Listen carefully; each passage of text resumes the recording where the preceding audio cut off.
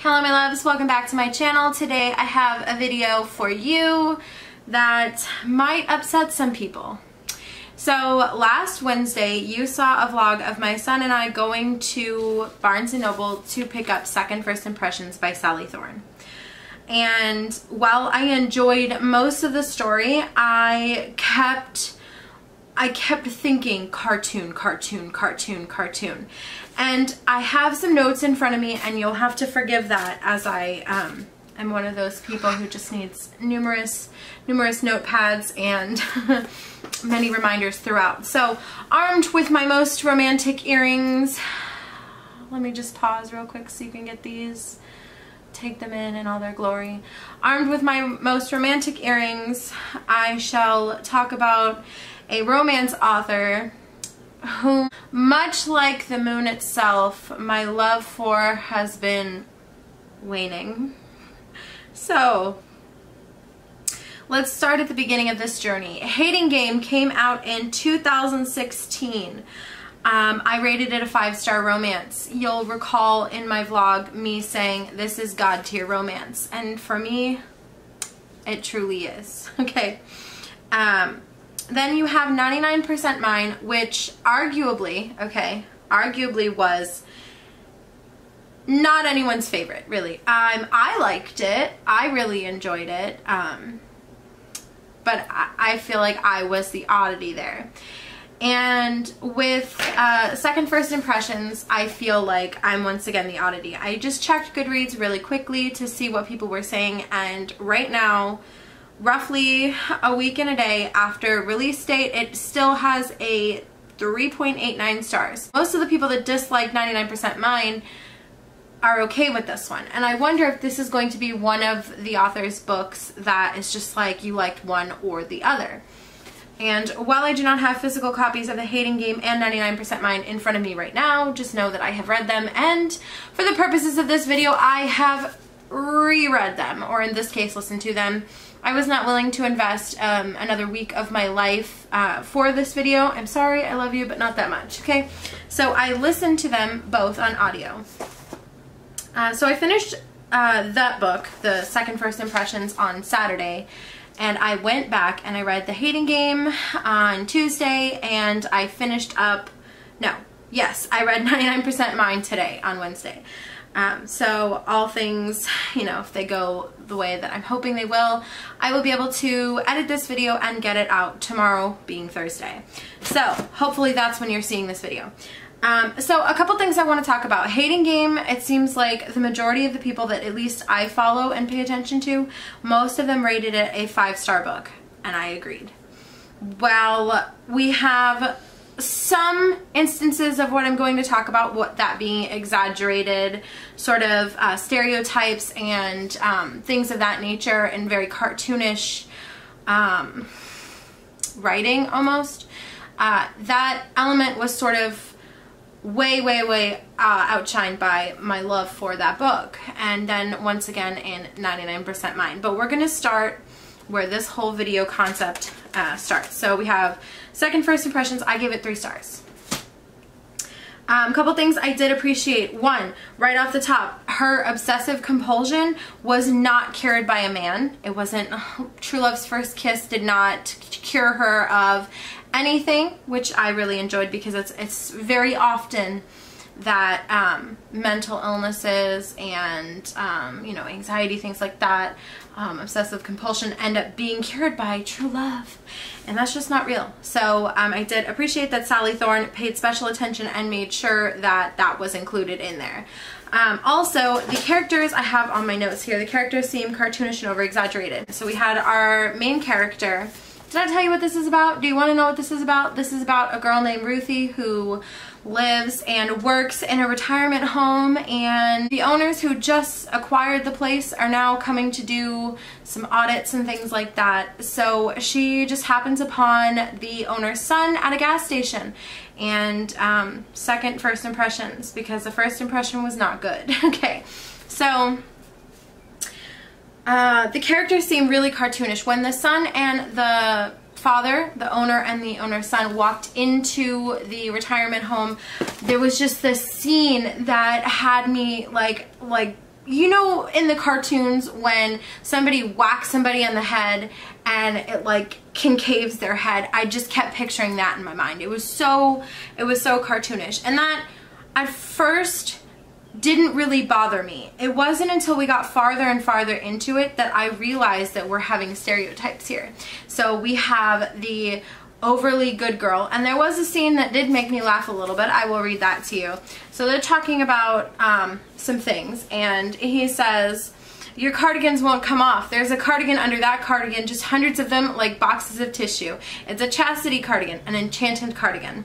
And it made me laugh um, so I really did appreciate that particular scene but for the most part it was she is such a good girl and it was overplayed and it was overdone and we were told over and over that she's so good she's so good and you know throughout we have this character um, Melody or Mel is it Melody or Melanie? I can't remember but she is a temp that is working at the uh, retirement home and we just keep getting her uh, opinion over and over that he's no good for her he's no good for her he's a bad boy he's a bad boy. And it was just so over exaggerated to the point where I didn't believe it anymore. And um, I was like, will you just shut up already? Like, shut up, damn. Uh, so that was a thing that I experienced. And then upon me rereading, I started with The Hating Game and then went into 99% uh, Mine, which by the way, I still appreciate that book a lot. But um, I did go ahead and reread those for um, further proof in my head that all of her characters are written very cartoonish. So for example, we have in the Hating Game the brooding boy sitting across from the uh, quirky girl. And all of her couples are sort of mismatched in that way. Um, I like it. I enjoy a good mismatched romance. That's, you know, my thing, the sort of the odd pairing, if you will. Um, but you have the brooding boy across from the quirky girl in the hating game. And throughout all three novels, which I'll touch on uh, briefly here and then again when I discuss each one individually, in all three we have the title of them are, they play a significant role and that is actually um, the main theme. So for example, the hating game. Uh, they were playing the hating game, then they were playing the or something game, and then they were playing some other kind of game, the racing game, and, and that was the main theme throughout. There was always a game between them. And um, then moving into 99% Mine, when we have the bad girl and the perfect all-American boy next door. Very uh, sort of mismatched once again, very stereotypical. She's got a nipple piercing, she's, you know, she's cut her hair. One of the patrons at the bar that she works at describes it as a boy's cut or something like that and, and like literally goes into call her sir so we have sort of this badass uh, borderline rocker chick who works at a bar and we have the all-American handyman boy next door who by the way I'm sorry but I will say it until the end of the times 99% mine like I am 99% obsessed with Tom Valeska too but that's besides the point um, but then we have the 99%, the percent coming into play. Oh, he's 1% mine, he's 2% mine, he's 3% mine. And that's a theme throughout. Um, and then going back to second first impressions, um, second first impressions is a main theme in the book as well. We have uh, where she is, uh, he's attempting to make a second first impression on Ruthie. He needs to make a second first impression on his sister. He needs to make a second first impression on his dad. And so I appreciate, it's kind of like in a movie when you're watching and you're just like, are they gonna say it? Are they gonna say it? Are they gonna say it? Are they gonna say it? And then they finally say the title of the movie. It was very much like that for me. So I, I don't have a problem with those things. It actually brought my enjoyment up, um, which I know is probably not a a typical uh, opinion that I have there, and that's fine. I enjoyed it, and that's really all that matters. I mean, in conclusion, we just get like a stereotype of a person, and then you sort of have details filled in and that's what makes a Sally Thorne character. And in the hating game, I had absolutely no problem with it. None at all. I loved it. I loved every single second of it. And then in 99% Mine, I loved most of it. I gave that one a four star. That one was, in my opinion, less than the hating game.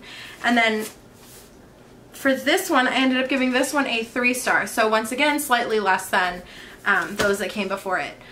Uh, so I want to talk about a tiny bit. I want to touch on why, in my opinion, it's okay to love an author, one of the author's books, like one of the author's books, not care for an author, and still consider them a auto-buy author. So in my opinion anyway i'm not i'm not the uh, spokesperson for auto-buy authors in any any shape or form. When you have a book like the hating game that holds a special place in mine yours and so many other people's hearts um, and then you have a good book after that um, and then they follow it up with a mm, meh book um, or you know in some people's opinions it looks like hating game was god tier.